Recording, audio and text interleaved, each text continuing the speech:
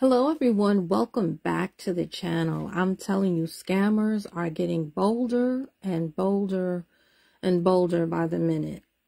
Today we're going to just do a real dive into, I think, one of the most bizarre and shocking real estate scams that nearly took down a piece of American history. Yes, we're talking about the fraudulent foreclosure of Graceland. Elvis Presley's legendary home. All right. It all started when a company named Naussany, I'm not really sure how to pronounce it, but Naussany Investments and Private Lending LLC. They claim that before Lisa Marie Presley died, that she borrowed $3.8 million against the home using it as collateral. But as we all know, um, you know, when she passed, they're saying that, well, they didn't get the but the rest of the money, so they went to the daughters and demanded that they pay. Their the daughter Danielle Riley, Lisa Marie's daughter, she is currently the sole owner of Graceland. And she said that no, her mom never took out no loan and she never gave them a deed of trust.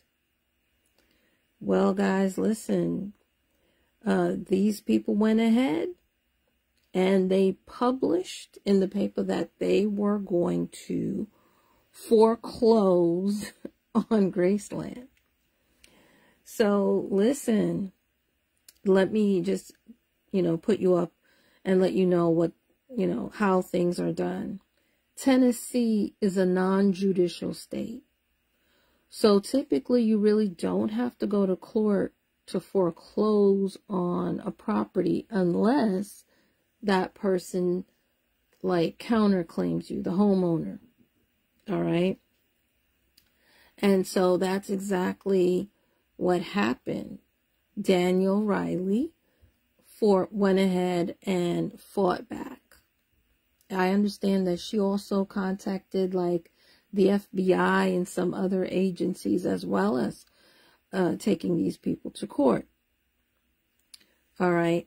Uh, luckily, they also found the notary public I mean, Republic, the Notary Public. and uh, that lady said that she's never met or spoken to anybody from Naussany Investments. They never gave her any paperwork. She's never met any Presley. She's never visited Graceland. They gave her the paperwork and she says she don't know how they got her seal, but that's not even her handwriting. They wrote her name, but she's she's like that doesn't even remotely look the way I write. So it was ever obvious that the documents were forged and so were the signatures. On top of that, they never recorded the deed. Now, I do mortgage notes, and I know for a fact you got to record the deed before you try to foreclose on somebody. It's not going to go through. Okay, and then here's the thing. According to them, they are located, Naussany, they are located in Missouri. So, being that the loan was obtained in a different state, is like with all the banks in Tennessee, why would you have to go to Missouri for a loan? And when that happens, uh, a lot of times the process for foreclosure can be a little bit more complicated when it's done that way. So there were there were a few red flags here. okay. But on top of that, I searched myself. Riley says that the company was fake altogether. When I looked up the company, I didn't see where they were registered anywhere. I checked the Secretary of State's website. So it appears that it was just a, a company name that this woman just made up, you know, and not legitimate in any way, shape, nor form. You know, and it's crazy how, you know, this particular home, which is a tourist attraction, um, representing, you know, rock and roll music history, was nearly snatched away in this particular scheme with forged documents, fake signatures. I mean, it's crazy. It really is. Now, listen, this is not a common scam, but it has happened to before to other people. Um, it's just that this is like the first time it's happened to Graceland. And I think probably any other mansion for that, you know, manner, particularly one that's a national monument. okay. You know, um, one would say, but how, you know, like, how did this person get away with it for, you know, so long or what have you? Well, you know, things happen.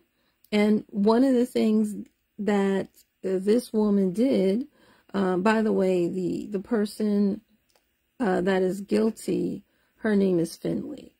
So anyway, what she did to stir things up is she wrote a letter uh, claiming that she was Nigerian and also taking responsibility for the forgery and the fake foreclosure.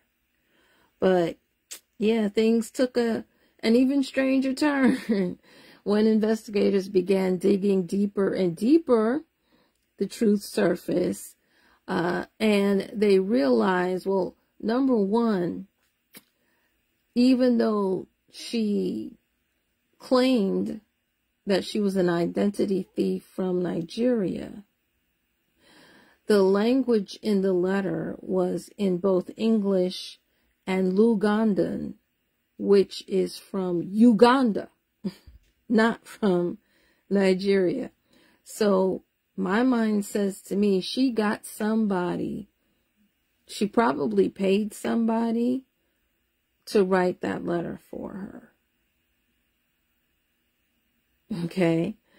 Because she's actually a white woman from Missouri. It's possible she's been to Africa before. Um, it's possible she she sp speaks that language, but I doubt it. Honestly, I really do. I really do. And by the way, this woman, the culprit, the one who is going to be serving 20 years in jail, uh, know this. She, it, her last name is Findley, Lisa Jeanine Findley but she's also been going by Lisa Holden, Lisa Howell, Gregory Naussany, Kurt Naussany, Lisa Jeanine Sullins, Carolyn Williams. She, she has been taking on all of these different aliases. The fact that she's taken on aliases of being a man, I kind of wonder if she has multiple personalities. I'm not a doctor, but I'm just saying it's kind of strange to me that she would pretend to be all these different people. You understand me? So, yeah, man. but she is a special kind of something. I tell you that. I tell you that. Because, man, the damage that she did, you know, especially I mean, it would be really er, um, terrible if it actually went through because, you know, whether you like Elvis or not, whether you like rock and roll or not, that is history. You know, that place is, yes, it's his legacy, but it's also American le legacy. You know, and it's terrible that something like this you know, that home could have been lost due to greed and deception. But, you know, luckily, this crime was uncovered in time. Graceland remains open, serving as a shrine to Elvis and the landmark for music lovers everywhere. But the story of this fraudulent foreclosure will always serve as a cautionary tale, a reminder of just how far some will go in pursuit of personal gain. That's why I say, guys, get title insurance. Sign up for a deed monitoring service. A lot of states have it for free. Um, otherwise, you can go to a company that you'll have to pay. And don't worry too much about how much you got to pay because you can probably deduct that from your taxes. All right. So, guys, what do you think? Are you shocked like me? Drop a comment below and let me know your thoughts on this insane scam. All right, bye for now. Until next time, have a good night.